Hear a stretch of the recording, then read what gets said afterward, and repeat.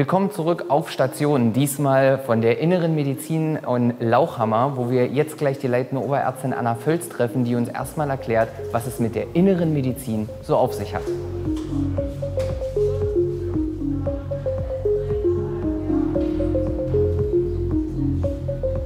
Hallo Frau Völz, grüß Sie. Grüß Sie, Herr Seidemann. Innere Medizin habe ich unseren Zuschauern gesagt. Was ist denn innere Medizin?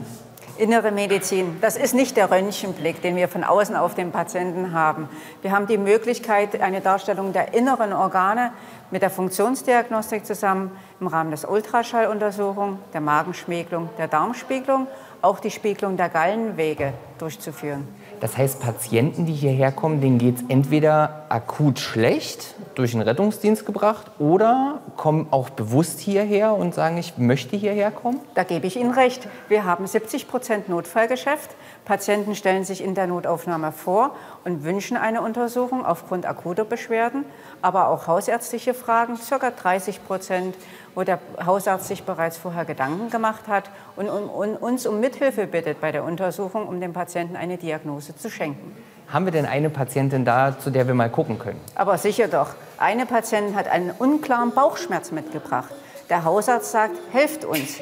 Wir machen das Angebot. Kommen Sie mit, Herr Seidemann. Ich zeige es Ihnen.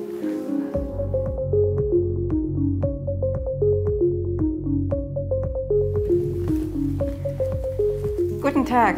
Guten Tag. Mein Name ist Völz. Ich bin die Oberärztin hier in der Klinik für Innere Medizin in Lauchhammer. Was führt Sie denn zu uns? Ich hatte Bauchschmerzen, bin deshalb zum Hausarzt gegangen und der hat mich hierher überwiesen, dass das abgeklärt wird. Da sind Sie genau richtig bei uns, wie 2000 andere Patienten im Jahr. Auf was haben Sie sich denn eingestellt bei uns? Heute auf Ultraschall. Im Bauchultraschall werden wir feststellen, ob sich noch im Anschluss eine Magen- oder Darmspiegelung ergeben wird. Die Schwester Peggy kommt zu Ihnen und wird Sie auf die folgenden Untersuchungen auch gerne vorbereiten. Seine CD hat er im Zimmer und dann kann er gehen. Ja, okay, alles klar. Danke.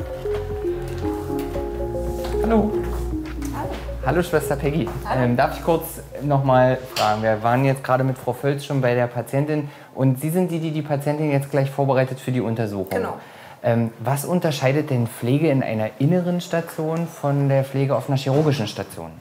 Pflege an sich unterscheidet nichts. Pflege hat den gleichen Auftrag. Der Mensch ist unser Patient und der steht im Mittelpunkt in dem Tun und Pflege ist Pflege. Fachspezifisch haben wir natürlich Unterschiede. Ähm, jeder hat sein Fach. Wir bereiten die Untersuchung vor, wir diagnostizieren die Erkrankung und leiten dann an die anderen Fachgebiete weiter, wie die Chirurgen.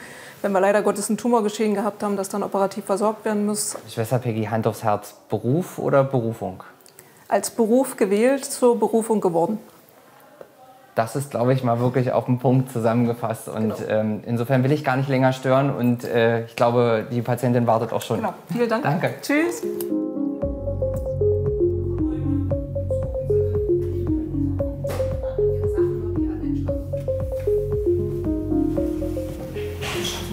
Ich würde Sie jetzt zur Untersuchung bringen.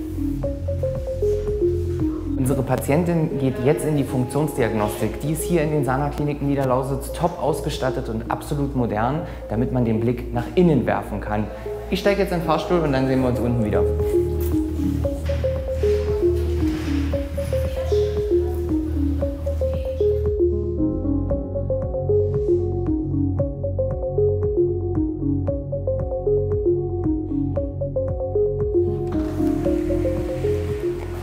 Hallo Frau Birkholz, grüß Sie. Hallo Herr Seidemann. Sie sind ja unsere Oberärztin, die alle Patienten der inneren Medizin auch wirklich von innen sieht. Was sieht man denn da so? Genau, wir führen ja hier Gastroskopien, Koloskopien und Gallenwegspiegelungen durch, zudem noch die Endosonographie. Das sind alles Untersuchungsverfahren von innen. Da schauen wir uns den kompletten Magen-Darm-Trakt an, bis hin zu den Gallenwegen. Okay, und ähm, ich habe vorhin gerade unseren Zuschauern gesagt, das ist eine sehr, sehr gut und top modern ausgestattete Funktionsdiagnostik. Ähm, wir sehen das ja hier auch so ein bisschen. Äh, was macht denn unsere Technik hier so aus? Das ist vor allem die ganz moderne Videoendoskopie, die wir hier an zwei Arbeitsplätzen mittels Gastroskopie, Koloskopie haben und noch an einem zusätzlichen Arbeitsplatz in der Gallenwegspiegelung EACP. Zählt man noch mit, wie oft man gastroskopiert und koloskopiert hat?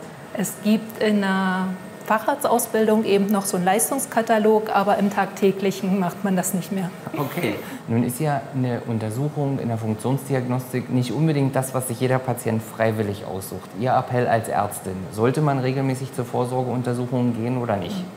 Gerade der Darmkrebs, die Vorstufen, die Anfangsstadium, die zeitnah zu erkennen, ist, das, ist die große Möglichkeit der Koloskopie, es frühzeitig zu erkennen, wo es wirklich noch tumoronkologisch vollständig entfernt werden kann und eine Tumorheilung erfolgen kann. Deshalb der große Appell von uns, dass alle zur Darmspiegelung kommen, ab dem 50. Lebensjahr im Rahmen der Vorsorgeuntersuchung, bei familiärer Belastung entsprechend zeitnäher.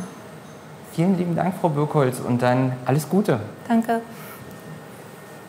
Die Funktionsdiagnostik ermöglicht uns den Blick in den Körper. Genau das hat Frau Birkholz jetzt getan und bespricht mit der Patientin die Befunde und den weiteren Therapieweg, zu dem dann auch andere Fachbereiche der Sana Kliniken Niederlausitz hinzugezogen werden.